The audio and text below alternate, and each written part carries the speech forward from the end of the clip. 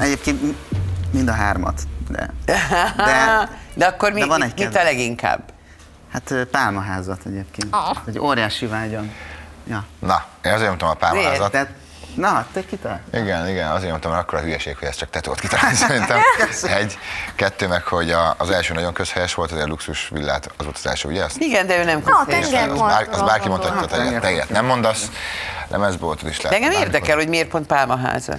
Vagy miért, miért ez az egyik legnagyobb vágy? Nem tudom, nekem az engem annyira el tud varázsolni ez a pálmaház feeling, tehát a nagy, óriási pálmákkal, tehát kicsit ez a tehát egy dzsungelt indokolatlanul behozunk egy ilyen városi környezetbe, vagy ez nem, nem odaillő dolog, és ez, hát nem tudom. Tehát Imádom, egyébként én is, nekem is bejön. Tehát Nem bemegyek, és annyira egy másik világban vagyok, mint hogyha nem tudom, egyből, mint valami kalandregény.